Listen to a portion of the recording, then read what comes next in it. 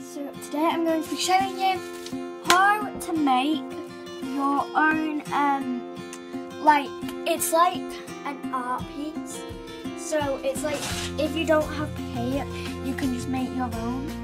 So first what you're gonna need is you're gonna need a paper and a plastic bag. So you're gonna put the paper out of the way for a minute and flatten the plastic bag. And then you're gonna pick how many colours you want. So I'm going to pick um, pink, purple and blue. So I picked them three colours and you're just going to make a scribble. It doesn't matter what pattern you have, just make any. You can even just do a scribble. It's okay. So that's what I'm going to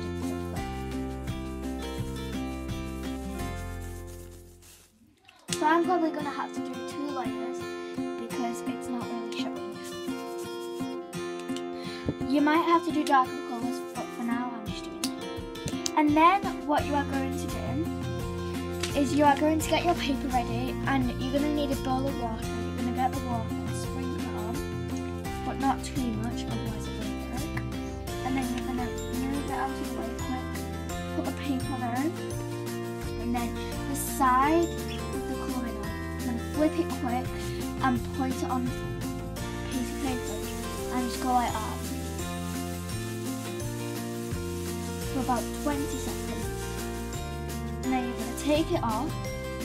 Now mine's not really worked but it should turn out good and then you're going to let it dry. So if you want another video like this, give this video a big thumbs up and subscribe.